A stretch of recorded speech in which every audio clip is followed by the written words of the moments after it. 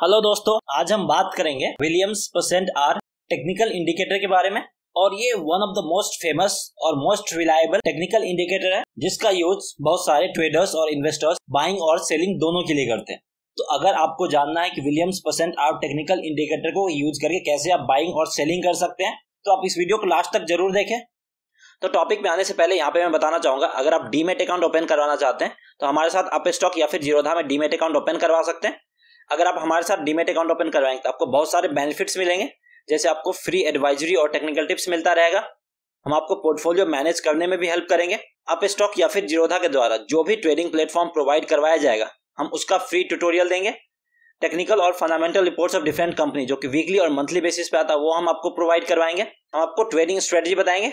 जिससे कि आप एक इंडिपेंडेंट ट्रेडर के रूप में काम कर सकते हैं। तो अगर आपको डीमेट अकाउंट ओपन करवाना है तो वीडियो के डिस्क्रिप्शन में लिंक दिया गया उस लिंक पे क्लिक करके आप अकाउंट ओपन करवा सकते हैं। या नहीं तो आप हमें व्हाट्सअप या फिर ईमेल आईडी पे भी कांटेक्ट कर सकते हैं। चलिए अब हम टॉपिक पे वापस आते हैं। तो सबसे पहले यहाँ पे हम William percent R technical indicators के बारे में कुछ आपको बता देता हूँ। विलियम परसेंट आर या फिर इसको शॉर्ट में परसेंट आर भी बोलते हैं। ये एक इंडिकेटर है जो कि ऑसिलेट करता है बिटवीन ज़ीरो और माइनस हंड्रेड यानी ज़ीरो और माइनस हंड्रेड के बीच में ये घूमता रहता है। और ये आपको कोई भी स्टॉक्स का वीकनेस और स्ट्रेंथ बताता है। यानी वो स्टॉक्स कब अपने वीक पॉइंट पे है और कब अपने स्ट्रेंथ यानी स्ट्रॉन्ग पॉइंट पे है। यहाँ पे आप चार्ट में ये देख सकते हैं कि ये जो नीचे है वो माइनस हंड्रेड का लेवल है और जो सबसे ऊपर है वो ज़ीरो का लेवल है और बीच में जो एक लाइन है वो माइनस फिफ्टी का लाइन है, वो मिडिल पार्ट है। इसके कुछ और डिटेल्स देख लेते हैं। ये जो आपको मेनली आइडेंटिफाई करने में हेल्प करता है ओवरबॉट और ओवरसोल्ड लेवल्स यानी ये आपको बता देगा कि कब मार्केट या कोई भी स्टॉक्स ओवरबॉट जोन में जा चुका है या फिर ओवरसोल्ड जोन में जा चुका है। तो यहाँ से आपका बहुत हद तक लॉस को अवॉइड कर देगा। अगर कोई स्टॉक्स ओवरबॉट जोन में जा चुका आपको नहीं पता तो वहाँ पे आप बाई कर लेंगे और वहाँ से आपको नुकसान हो सकता है। तो उस नुकसान से यहाँ पे आप बच सकते हैं, अगर आपको विलियम्स परसेंट आर इंडिकेटर के बारे में पता है तो। और अगर आप ओवरसोल्ड जोन में सेल कर देते हैं तो यहाँ से भी आप उस नुकसान से बच सकते हैं। तो ये ओवरबॉट और ओवरसोल्ड लेवल के बेसिस पे ये अपना ट्रेडिंग सिग्नल्स जनरेट करता है। और ये जो इंडिकेटर काम करता है, ये एक पर्टिकुलर टाइम पीरियड सेलेक्ट करता है। इसका टिपिकली जो टाइम पीरियड होता है, वो 14 डेज़ का टाइम पीरियड होता है।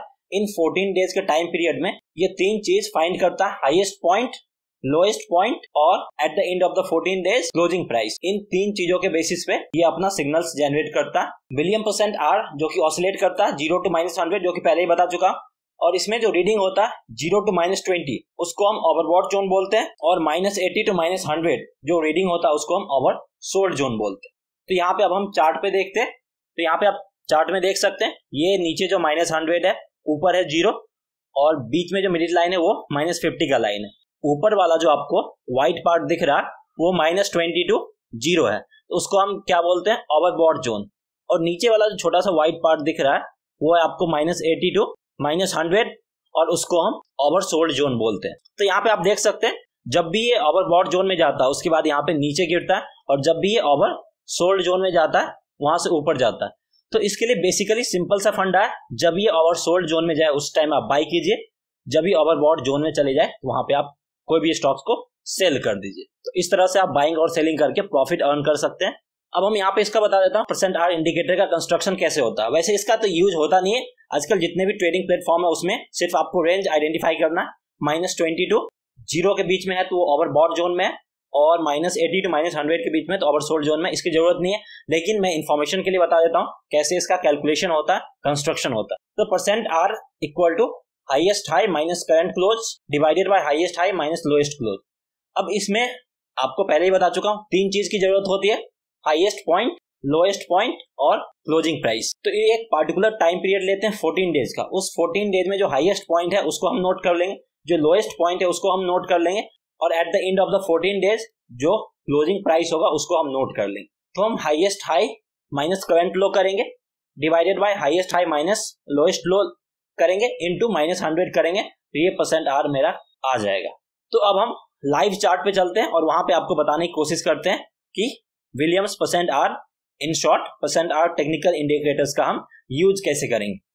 यहाँ पे हमने निफ्टी फिफ्टी का चार्ट ओपन कर लिया। और ये जो चार्ट है, निफ्टी फिफ्टी का चार्ट है, और यहाँ पे हम विलियम्स परसेंट आर इंडिकेटर को इसमें अप्लाई करते हैं। यहाँ पे आप विलियम परसेंट आर इंडिकेटर है इस पर क्लिक करना आपको। और इसमें पीरियड देख रहे हैं, फोर्टीन डेज़, यानी फोर्टीन डेज़ का पीरियड है, और यहाँ पे over overbought minus twenty oversold minus eighty इस पे यहाँ पे हमें डन कर देना।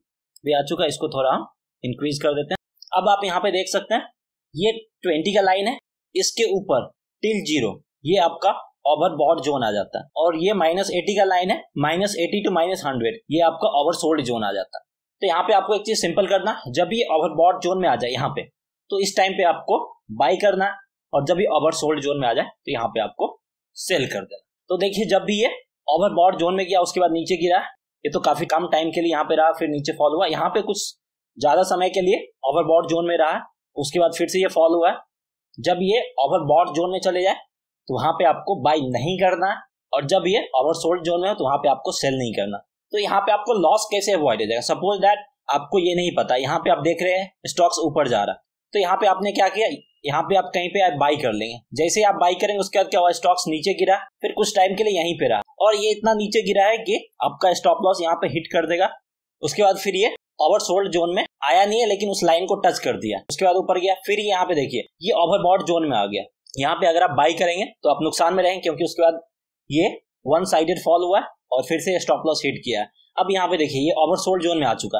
तो यहाँ से हम बाई कर सकते हैं। यहाँ से अगर आप बाई करेंगे तो ये ऊपर गया। फिर से यहाँ इंडिकेट कर रहा है कि ये ओवर बॉट जोन में आ चुका। तो यहाँ पे हमें बाई नहीं करना। और यहाँ पे देखिए मार्केट ज़्यादा गिरा नहीं है, लेकिन ये निगेटिव ही गया। यानी ये लेवल जो है वो इलेवन थाउज़ेंड नाइन फोर्टी के करीब है और यहाँ जो आया है इलेवन थाउज़ेंड एट सेवेंटी, यानी ऑलमोस्ट सेवेंटी पॉइंट्स के करीब ये फॉल हुआ है। और अभी करंट बात करें तो करंट मार्केट जो चल रहा है वो ट्वेल्व थाउज़ेंड के लेवल को क्रॉस कर चुका है। और अभी लेकिन ये ओवरबॉट जोन में नहीं आया है। कुछ दिन पहले था ओवरबॉट जोन में, यानी थर्ड जून को, यानी आज fourth June two thousand nineteen है थर्ड जून कल ये ओवर ओवरबॉट जोन में था। आज थोड़ा सा इसमें करेक्शन देखने को मिला, जिससे ये ओवर बॉट जोन से नीचे आ चुका है। इसके बेसिस पे आप इंट्राडे ट्रेडिंग नहीं कर सकते हैं क्योंकि आपको लॉन्ग टर्म कॉल देता है। इसके बेसिस पे आप फ्यूचर्स या फिर ऑप्शंस में बाई कर सकते हैं या फिर स्टॉक्स को डिलीवरी में बाई कर सकते हैं। तो सेम मेथड से आप स्टॉक्स में भी ट्रेडिंग कर सकते हैं on the basis of overbought and oversold zone तो इस तरीके से आप बिलियन परसेंट आर इंडिकेटर को यूज़ करके आप प्रॉफिट अर्न कर सकते हैं और अपने लॉस को भी अवॉइड कर सकते हैं। सो डेट्स ऑल फ्रेंड्स अगर आपको इस वीडियो से रिलेटेड या फिर इस इंडिकेटर से रिलेटेड कोई भी डाउट या फिर क्वेश्चन है तो आप हमें कमेंट सेक्शन में पूछ सकते हैं, या नहीं तो आप हमें व्हाट्सअप या फिर ईमेल आईडी पे भी कांटेक्ट कर सकते हैं। अगर आपको ये वीडियो पसंद आया तो इस वीडियो को लाइक ज़रूर करें, और अगर अभी तक आपने हमारे चैनल को सब्सक्राइब नहीं किया तो हमारे चैनल को सब्सक्राइब भी करें, और साथ ही साथ बेल आइकन दबाना ना भूलें। Thanks for watching